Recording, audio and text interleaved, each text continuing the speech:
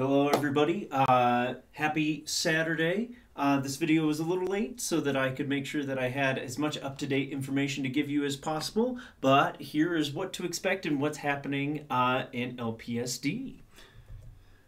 So, uh, many of you are wondering about reopening as this conversation kind of begins to take hold everywhere. So, there is a very structured process uh, that is underway. If you read uh, Dr. Somers' email yesterday, he mentioned a consortium and working with a number of um, other districts through uh, a uh, company or a group out of Massachusetts. Uh, I am a part of that, and having seen how it's structured and how that conversation will go, uh, I think this will produce a very solid plan for what the fall will look like.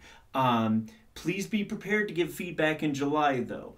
Uh, I will advocate as best as I can for everybody, but when that plan comes out, um, I've been told that it will be open for public comment please take a chance to make sure that you comment on that and put in any input that you feel was left out or that maybe you agree or disagree with. Um, but the big thing with this is there are a number of stakeholders in the district and we will make sure that things are as safe as possible for everybody and that learning is as solid as it can be in the fall. But this was a very good comment that came up. Don't let perfect be the enemy of good. We're going to do the best we can with the situation we have. Uh, just a quick update on the budget. We're not going to go into huge breakdown like I did last week. So if you're curious about what was in the budget, please go to last week's video. I'll link it in the description below um, if you have any questions about that. Uh, from what I understand, the, the board will be voting on the budget this Monday. So uh, we will know about that, though funding is not finalized at the state level yet. Uh, here's what you need to know from state and national leg- legislative actions.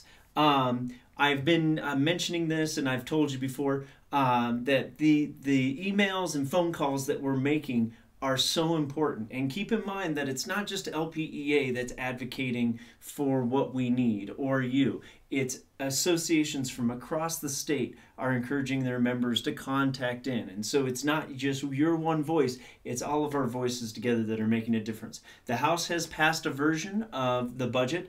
Um, I don't have any big updates from that. It's now on to the Senate. Uh, and then the conference committee um, I have question marks there because originally there was a plan for when they were supposed to come together for conference committee, but things keep changing and it keeps getting pushed back, so we don't know when conference committee is right now.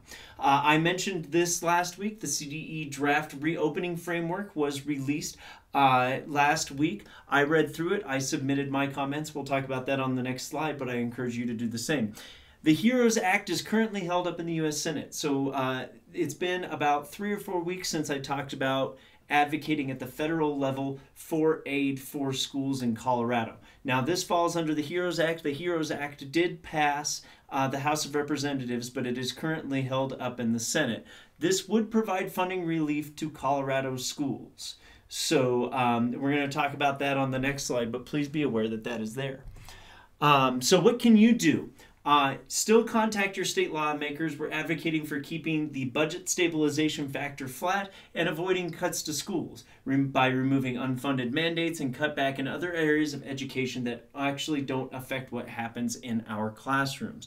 Um, Right now, I don't have an Action Network link like I did for your state representative, but uh, once I have one for your state senator, I will share it out with you. If you would like to just go ahead and write your own email, I'll put a link in the description below on how to find who your state senator is through this website. Uh, you can also continue to call using this phone number whatever you do, include your story, talk about why education funding is so important and why we should be avoiding any and all cuts to education. Um, my apologies for this little yellow highlight here, but um, the other part, I'm uh, there's now sort of an action network for the federal level for our our Colorado senators in D.C.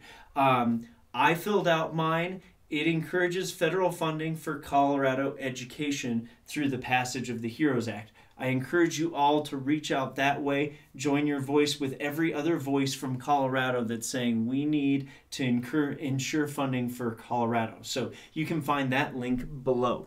Um, what else can you do? Uh, in the links below, again, I'm going to include the CDE draft framework. Um, there's a PDF link, or you can try to get through the um, the website. Either way, read through it, provide your feedback. They will read it, and hopefully, this will help guide what this looks like. Um, paid organizing. So, this is something new this week. Um, some people have been asked about it, but the application deadline is Monday, and so we're putting it out to everybody. So if you would like, this paid organizing is through CEA, but CEA would pay you to uh, reach out to other members in LPEA. There's more information in the link below. I'm not going to try to say it all, but if you're interested in that, it's a good little summer job for anybody that's interested in it, and it helps us in the Lewis Palmer Education Association. Um, this kind of falls into that our powers and our membership in these small actions though they may seem small to you they all add up to make a huge big difference. And again invite a new member. The more we are the stronger we are. That's part of what the paid organizing is. Um, we, you've heard about it before. There's individual perks uh, financial perks for being a member. Um, there's also the legal side that's very helpful that we all get. But the big thing is the more we are, the stronger our voice when it comes to a seat at a table.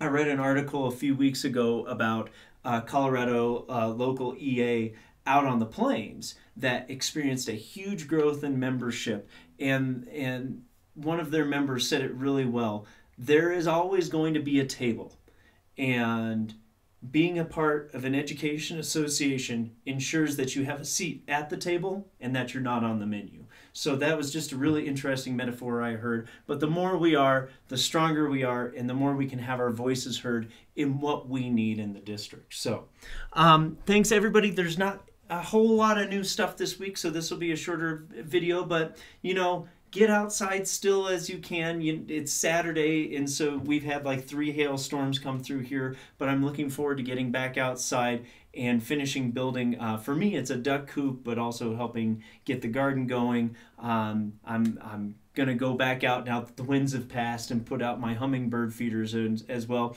And again, find a way to engage your mind. Find, pick up a book, find a good documentary, watch something new, uh, play a game with someone. My wife and I stumbled across this game. I'm only mentioning it because those of you with kids that are wondering maybe what to do on these stormy days that doesn't involve a screen, this game Splendor, my wife and I have been loving it, so you might as well. Um, that's it for this week. Stay safe, uh, take care of each other, and we'll talk to you soon.